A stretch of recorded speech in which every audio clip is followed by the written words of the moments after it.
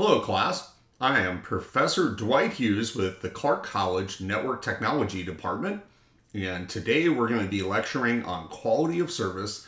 That's Chapter 6 in the NTEC 224 Connecting Networks course. We've got two sections to look at. We'll overview what QoS is, and we'll look at the uh, variety of QoS mechanisms uh, that can be implemented. An overview of quality of service. Simply put, quality of service is about prioritizing traffic.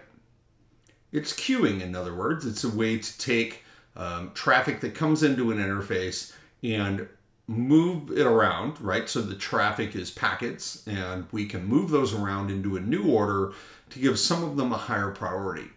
And there's various ways we can do that. They're showing one here. Uh, this is called weighted fair queue. They're illustrating here where they um, provide everyone access to the link, but in different quantities, right? So uh, a high priority would get more use of the link more often than a medium priority or a low priority, but everyone gets to use the link. So that's one example of prioritizing traffic. Whenever you prioritize, remember you are also deprioritizing. It's impossible to make everything a priority, so by its very nature, if you're prioritizing something, you're doing that over something else. Typically, uh, QoS is a mechanism that's used when we have congestion. So it is a um, way to manage the bandwidth on the network at times of high congestion when we're using 100% of our available bandwidth. It can help deal with some transmission quality issues around um, not having enough bandwidth, in other words, running out, hitting the full 100% bandwidth utilization, which generates congestion, just like on a road system, like a freeway. As soon as it gets congested, it really backs up badly, and the delay times get they get long fast. Um, and that creates what we call jitter, which jitter is unpredictable delay. So uh, we have a mechanism in voice and video called buffering, which helps accommodate for small amounts of jitter, which is the unpredictability in the interval arrivals between packets. But uh, jitter can uh, basically destroy your voice and video quality very quickly. Okay, and of course, packet loss. A lot of packets are uh, using time to live values, and the applications are only going to wait so long for those packets to get to the other side, especially when we talk about video and voice, other real time traffic is simply uh, no longer usable after a certain short period of time goes by. So in a properly designed network with quality of service mechanisms in place, we can prioritize these types of traffic over others that may be more delay tolerant, such as email or file transfer. Before we get started, we want to really understand our network. We need to know the company and the applications and the topology of the network. So we have to understand what type of traffic is flowing. And we can use software like Wireshark to help us determine this we need to know how much video, how much voice, what's the you know composition of the traffic on this network. And we need that before we start prioritizing. So we can kind of make a list of what mission critical uh, protocols we have, what ones are delay tolerant and what ones are not.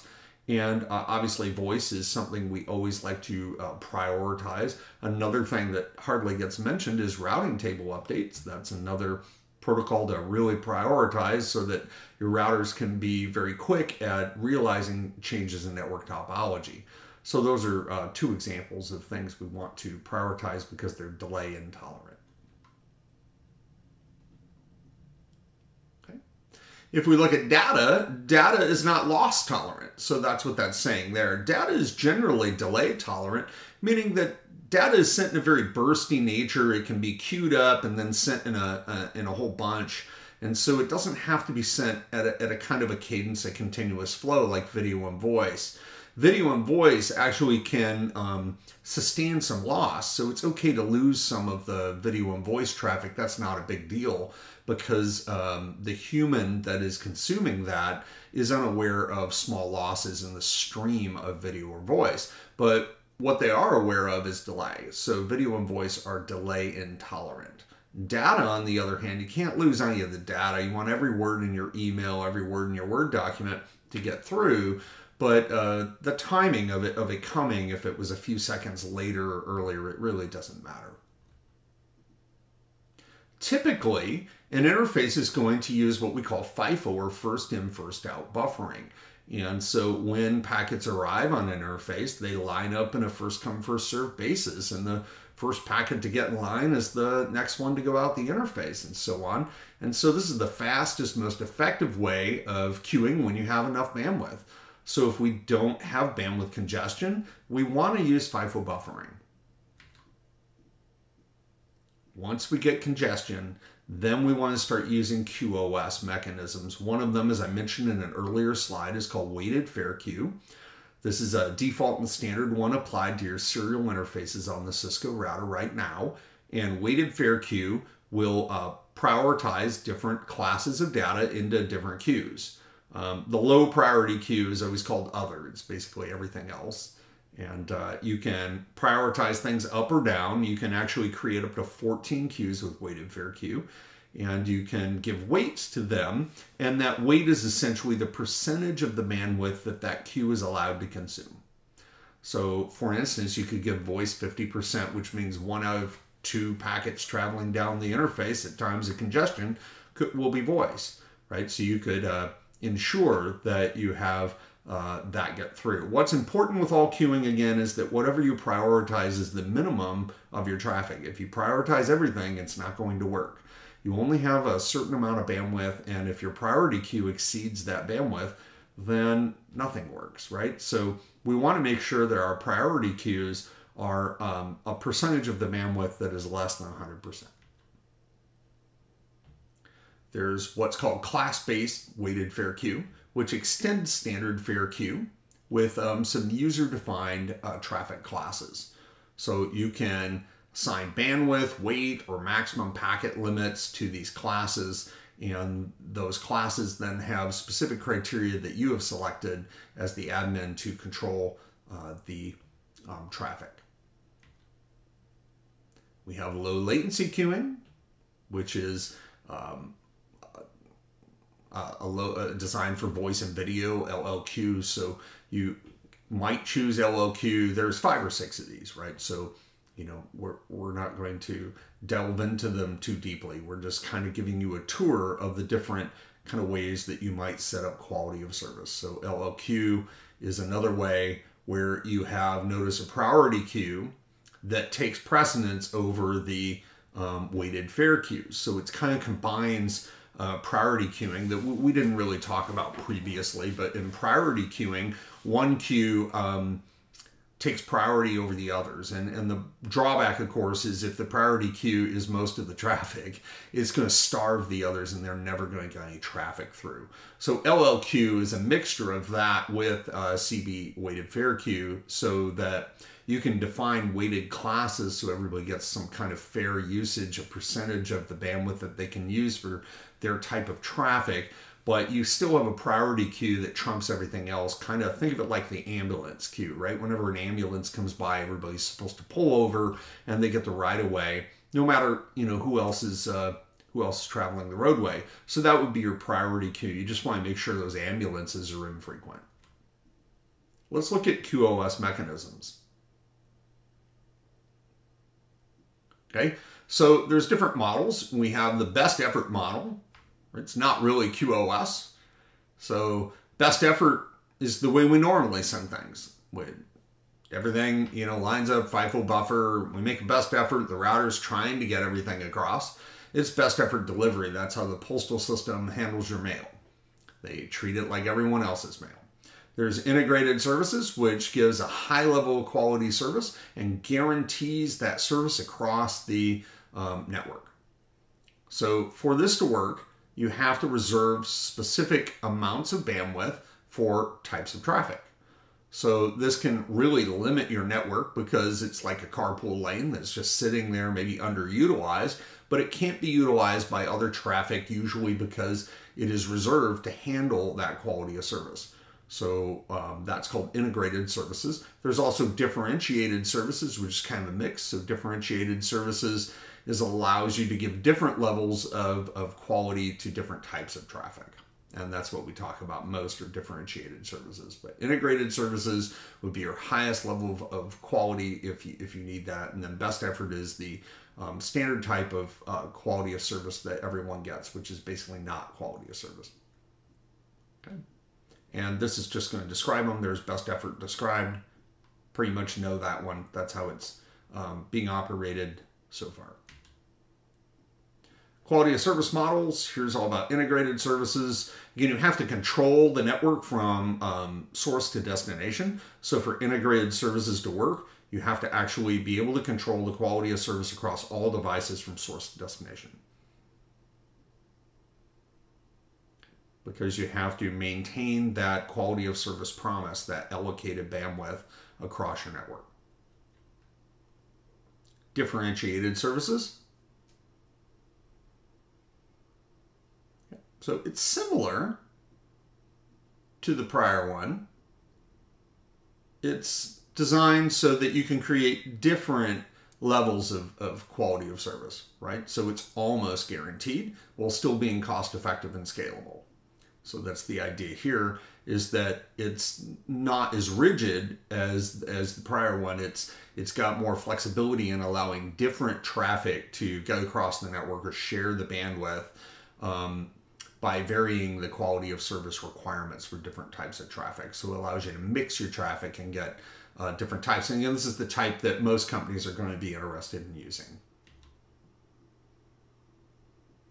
Okay. We're going to try to avoid packet loss.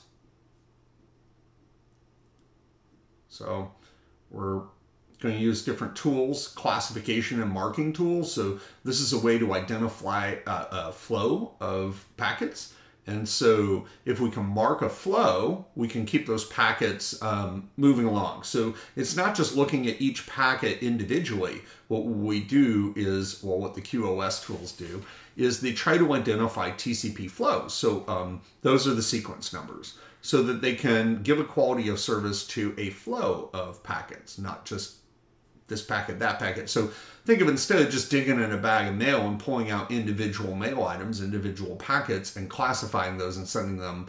Um, this is more advanced. It's looking at the flow. It's saying, oh, this piece of mail relates to the one I sent previously, and they get classified the same and sent the same. So.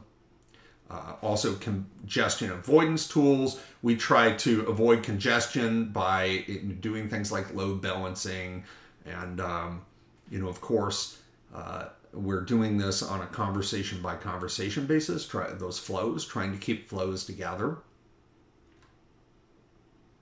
So these are some of the tools. Classification and marking.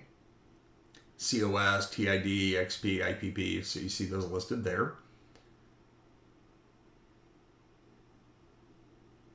So these are, all these are fields in a header, and these fields in the header allow you to identify different levels of quality of service. So it's just a number that you put in there. And then that marking number, so that that uh, traffic can be marked, uh, say by the computer that creates the traffic or by a switcher router.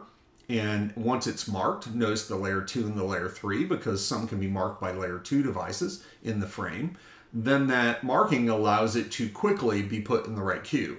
So this um, basically allows one device to dig in and figure out what type of traffic it is and then mark it and then it stays marked through the network so that it, each router doesn't have to dig in and see is this voice is this video is this just an email? It can rely on the number that's been assigned to it the classification number. So you can see where these fall in the uh, QoS fields that are inserted into an Ethernet frame, for instance, versus uh, layer 3 marking, which is part of the uh, layer 3 packet. Okay, we have what's called the trust boundary, and so the trust boundary is who we should trust to make these markings, right?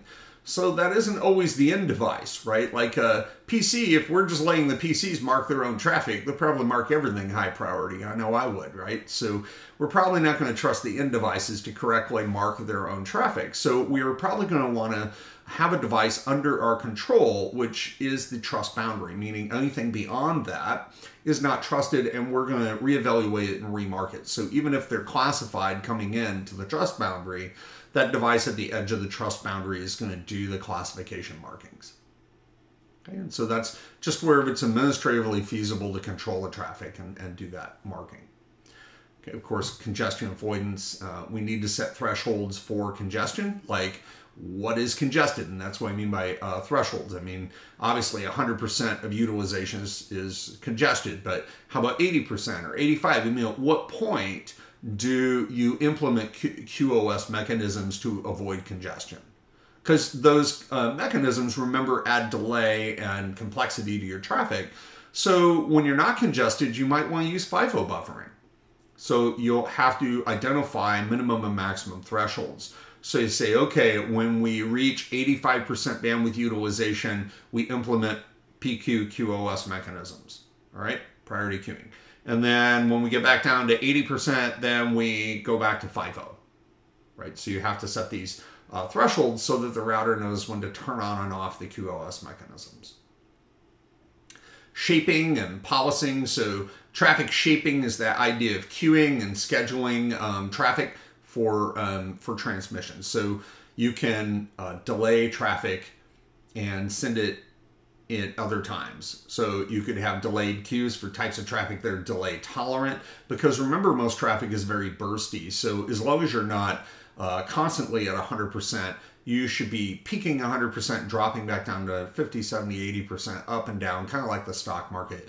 And you will have these gaps that you can put in as your bandwidth utilization drops that you can put in the more delay tolerant traffic and basically start sending that, which brings your utilization back up, but kind of levels everything out. It kind of flattens out the, uh, uh, the line of bandwidth utilization. And you can actually buy little boxes that do this for you. Thank you.